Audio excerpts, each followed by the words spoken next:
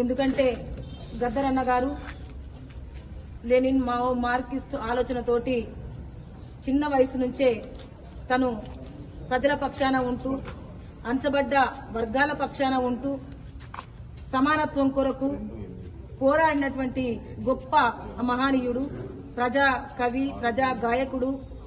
మరి తన ఆలోచన విధానం అంతా ప్రజల పట్లనే. మరి ఎలాంటి సంపాదన లేకుండా ప్రజలే నా సంపదన?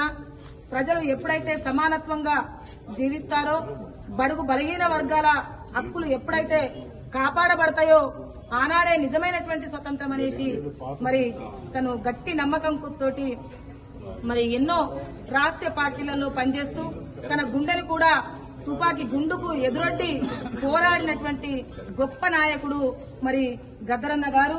మరి గుమ్మడి విఠలరావుగా ఉన్నటువంటి పేరు నుంచి మరి ఒక బిరుదును గద్దరుగా బిరుదుగా సంపాదించుకున్నటువంటి మహానీయుడు మొన్ననే గౌరవనీయులు మా రేవంత్ అన్న గారు మరి వాళ్ళ బిడ్డకి కూడా కాంగ్రెస్ పార్టీ నుంచి వెన్నెలక్కకు టికెట్ ఇవ్వడం చాలా సంతోషకరమైనటువంటి ఆ, విషయం కాంగ్రెస్ పార్టీలో కొనసాగుతుంది.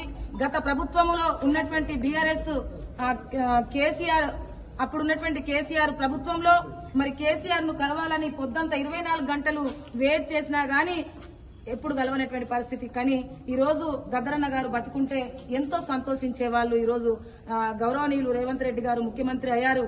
కాబట్టి అందరితో కలిసిపోయేటువంటి తత్వం కలిగినటువంటి ఒక మంచి మనసు కలిగినటువంటి ముఖ్యమంత్రి అనేసి ఎంతో గర్వంగా ఉండేటువంటి విషయం తరుణంలో ఈ రోజు లేకపోవడం చాలా బాధాకరమైనటువంటి విషయం.